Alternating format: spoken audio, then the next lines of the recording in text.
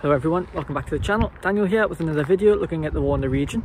So today I'm in Blakelaw, Newcastle upon Tyne, and I'm looking at the site remains of the filter control room for number 13 group of the RAF.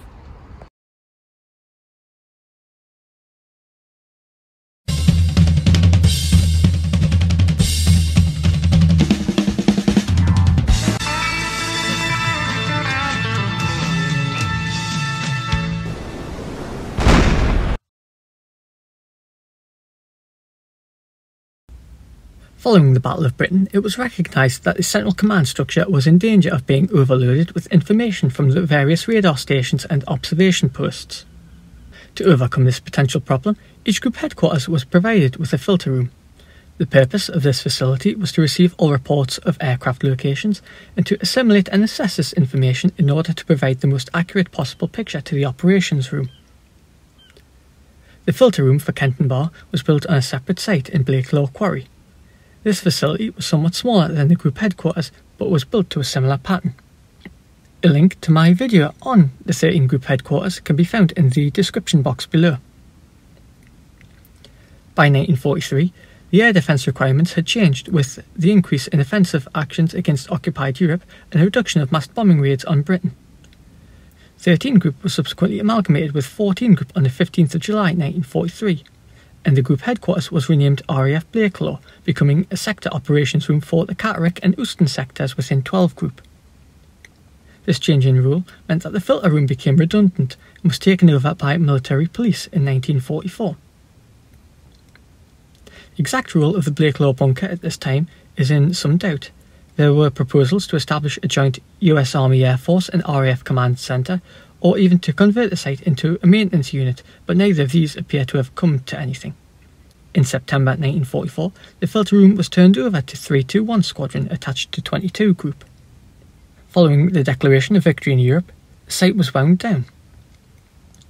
Council proceedings of 1952 record the purchase and fitting out of the former RAF filter room at Blakelaw as the Newcastle County Borough Main Civil Defence Control Centre, with a purpose built sub control centre being built at Heaton the former RAF filter room at Blakelaw remained in use until the stand down of civil defence in 1968, after which date it was retained on care and maintenance as a County Borough War Headquarters.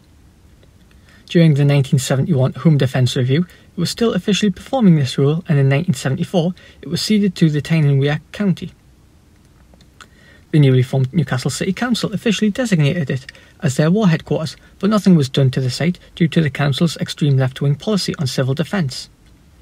In 1982, the Sub-Control Centre in Heaton was designated as the main war headquarters. In 1986, Tyne County was abolished and the newly formed Tyne Fire and Civil Defence Authority was in turn formed. The Tyne Fire and Civil Defence Authority wanted to turn Blakelaw into a modern emergency centre, a scheme that was halted by the end of the Cold War in 1991. From 1984, the site had been rented to the local Sea Scouts, becoming T.S. Nelson, use which continued until around 2000 when the site was vacated. Following the departure of the Sea Scouts, the small brick blockhouse above the main entrance was demolished, with the rubble thrown down the main stairwell to block the main entrance. The sunken emergency exit to the filter room was retained, but the doors were welded shut and a metal grille was welded across the entrance porch to prevent unauthorised access. Today, the filter room bunker stands in the middle of Moulton Court on the Blakelaw estate between two high rise blocks of flats.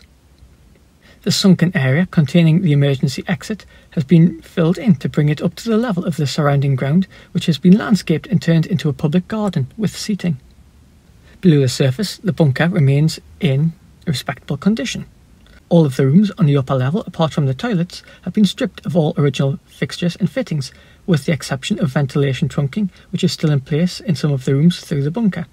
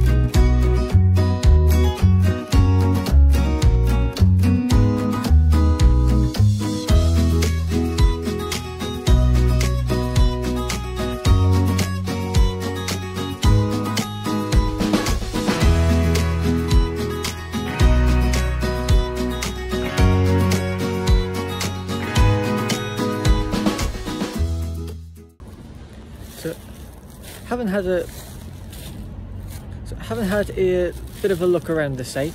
There's not actually all that much which remains to this day. Um, there's the exhaust ventilation shafts, which we saw in the video. There's there was a couple of pieces of concrete with a couple of bits of metal in them which weren't buried.